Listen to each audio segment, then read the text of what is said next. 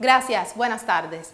Como usted ya sabe, este domingo se desarrollará la prueba dinámica de cara al referendo popular sobre el Código de las Familias el venidero 25 de septiembre.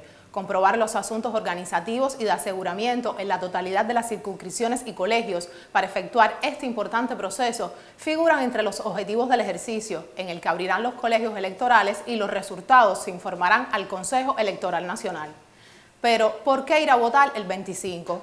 Tras el análisis del proyecto, usted coincidirá conmigo en que se pondrá a consideración de los electores un código inclusivo que ampara a todas las familias. Se trata de la primera vez que un código de las familias va a referendo en América Latina y Cuba apuesta por una normativa de avanzada, defensora de los derechos de todas las personas en la amplia diversidad de la sociedad actual.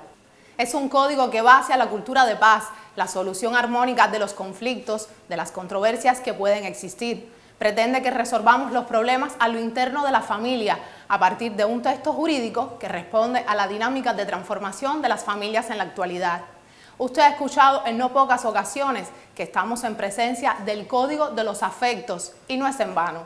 Entre otras disposiciones reconoce y protege a los sectores vulnerables de la sociedad, los derechos de los adultos mayores, la posibilidad de que todas las personas puedan fundar una familia y contraer matrimonio, el parentesco por afinidad, la gestación solidaria, que para nada es una aberración, sino un acto de amor, y otras tantas bondades que se pueden resumir en la idea de no privar de derechos a nadie.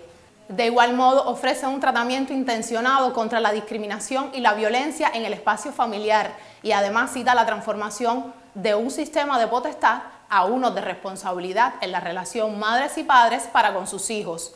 En el caso de las mujeres, por ejemplo, aborda nuestros derechos y garantías en la sociedad, el valor económico del trabajo doméstico y de cuidado, con efectos jurídicos, además de la violencia tanto a las niñas, adolescentes y adultas.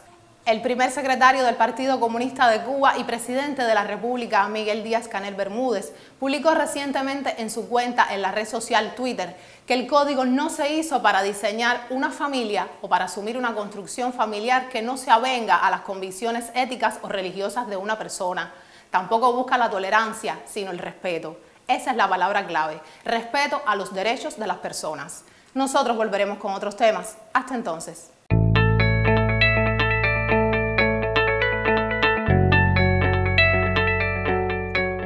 Por las familias cubanas, tu voto cuenta.